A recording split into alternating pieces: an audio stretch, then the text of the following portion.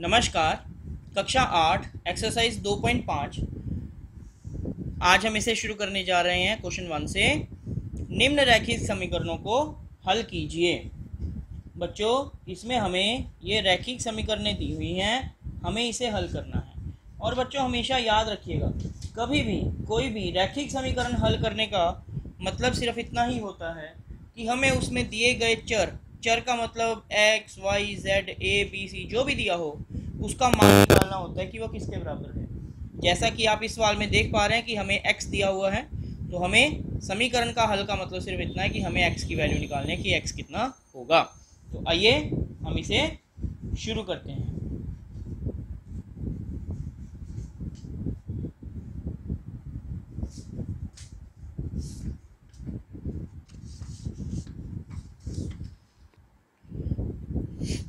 हमारे पास है x बटा दो माइनस एक बटा पाँच बराबर एक्स बटा तीन प्लस एक बटा चार। हमें इसे हल करना है। सबसे पहला काम हम ये करेंगे कि x वाली रकमें एक तरफ़ ले जाएँगे बिना x वाली रकमें दूसरी तरफ़।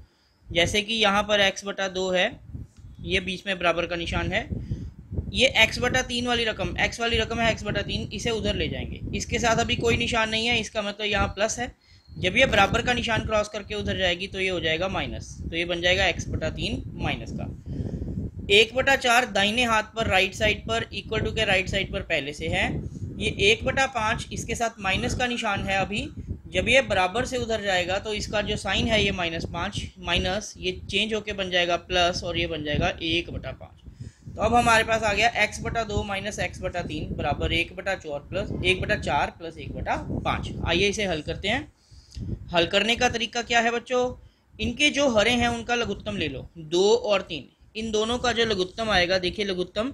दो कोमा तीन। दो के पहाड़े में दो एकम दो। तीन को ऐसे ही उतार लेंगे। फिर तीन के पहाड़े में एक तो ऐसे ही उतार लेंगे और तीन एकम तीन। है ना बच्चों? तो एलसीएम जो है, वो किसके बराबर आएगा? इनके गुना के बराबर। दो गुना तीन, ये होता है छः। इसका अर्थ यह है कि हमारे पास इन दोनों का जो एलसीएम आया, वो आया छ अब अगला स्टेप क्या है? इस लघुत्तम को नीचे वाले से भाग करो, जो आंसर आएगा उसको ऊपर वाले से गुना करो। देखो कैसे छः को दो से भाग करके आया, तीन। इस तीन को ऊपर एक्स से गुना कर दिया तो तीन गुना एक्स तीन एक्स ठीक है बच्चों? आगे है माइनस तो माइनस का निशान। छः को नीचे वाले से भाग, ऊपर वाले से गुना। छः को तीन से भाग करके आया दो। इस दो को ऊपर वाले एक्स से गुना करा तो हमारे पास आया दो एक्स बराबर। इसी प्रकार से हम यहाँ करेंगे चार और पाँच। इनका हम लघुत्तम लेंगे बच्चों। तो आप लघुत्तम निकाल के देखेंगे तो इनका लघुत्तम आ जाएगा बीस। चार पाँच बीस। वैसे भी बता देता हूँ, कभी कोई ऐसे नंबर हो जो एक दूसरे के पहाड़े में ना आते हो या किसी भी और पहाड़े में ना आते हों, एक पहाड़े में ना आते हों। कोई ऐसा नंबर नहीं है जिसके पहाड़े में चार और पाँच दोनों आते हैं। तो जब ऐसे नंबर हो, इनका लघुत्तम क्या होगा? इनको आपस में गुना कर दो तो चार, पाँचे बीस। अब कैसे सॉल्व करना है इसको? नीचे वाले से भाग, ऊपर वाले से गुना। बीस को चार से भाग करके आया, पाँच। इस पाँच को जब ऊपर एक से गुना किया तो पाँच एकम पाँच प्लस। बीस को जब पाँच से गुना किया तो भाग किया सॉरी नीचे वाले से भाग। बीस को पाँच से भाग किया, पाँच, चौके बीस। और बीस को पाँच से भाग करके आया चार इस चार को ऊपर एक से गुना कर दिया चार। ये हमारे पास लेफ़्ट और राइट साइड आ गई। अब हम इसे आगे हल करेंगे। तीन एक्स में से दो एक्स निकाला, एक एक्स बटा नीचे है छः बराबर पाँच प्लस चार, नौ बटा नीचे है बीस। अगले स्टेप में क्या होगा? एक्स बराबर नौ बटा बीस। छः एक्स के साथ भाग हो रहा है, उधर जाएगा तो छः ऊपर गुना हो जाएगा। अब हम इसे यदि ये कटता है तो काटेंगे। दो के पहाड़ में देखिए, दो के पहाड़ में आएगा दो तिया छः और दो के पहाड़ में आएगा दो दसे बीस।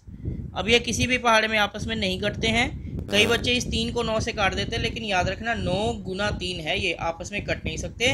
नौ ऊपर तीन नीचे होता तो कर सकता था। तो क्या करेंगे? ऊपर वाली रकम ऊपर वाली से गुना कर देंगे। नौ गुना तीन, नौ तिया होता है सताइस बटा। नीचे है दस। ठीक है बच्चों, इसका अर्थ ये है कि हम जो इस क्वेश्चन में निकालने जा रहे हैं एक्स का मान, वो जो एक्स का मान है, वो हमारे पास आया है एक्स बराबर सताईस बटा दस। ये आप अगली लाइन में लिख लेना। एक्स बराबर सताईस बटा दस।